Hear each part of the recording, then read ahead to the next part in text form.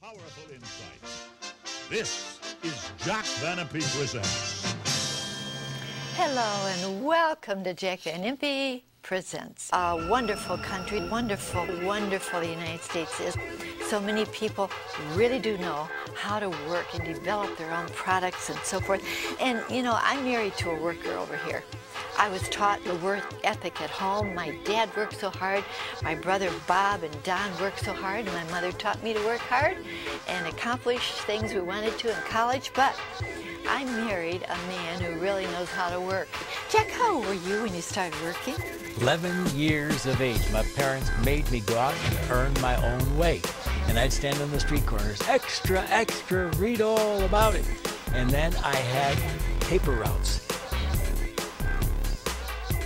I had 160 customers. I had this bike with a huge basket. And I had to go back to the headquarters three different times to get papers. Can you imagine what I delivered on Sundays? And then I had a job at Lochmoor and Country Club golf courses, and I used to do 45 holes per day, two nine, two 18s, and then a nine.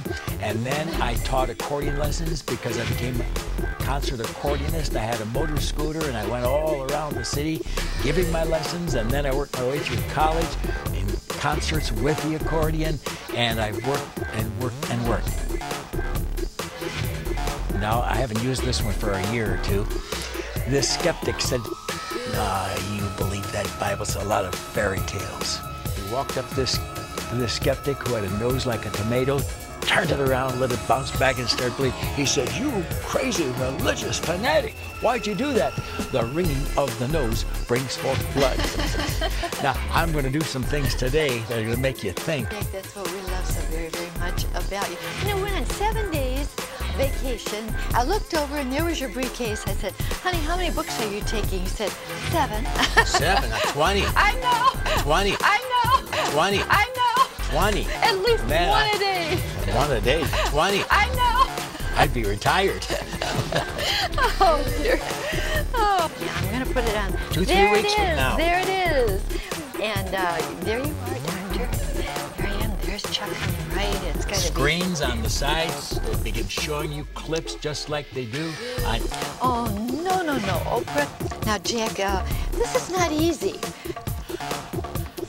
And this is that spirit, and this is that spirit. Oh, Jack, Listen to me. I saw something shocking.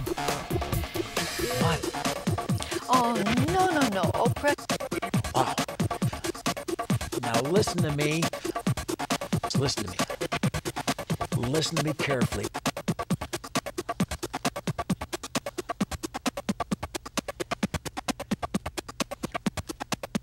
So here's our announcer.